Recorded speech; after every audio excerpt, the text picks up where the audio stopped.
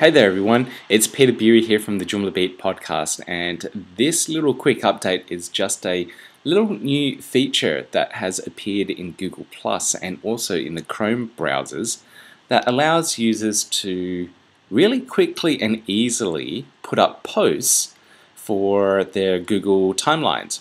So I'll just hit cancel on the original one here, but if you have a look at your Google Plus uh, accounts, in the top right hand corner next to your profile picture is the new Google Share button.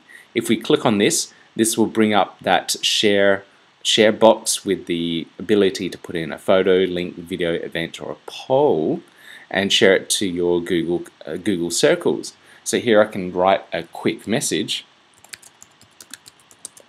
and post that out onto my Google uh, Circles. But the interesting thing is now in your Chrome browser, when you open up a new tab, in the top right hand corner here on your home screen, you also have those same facilities. So I can share directly from my browser tabs and leave a message for the rest of the world. Quick and easy as that. Google's making it a lot easier to share content with the Google Plus community and hopefully this will see more and more interesting things uh, pop up on, on Google+.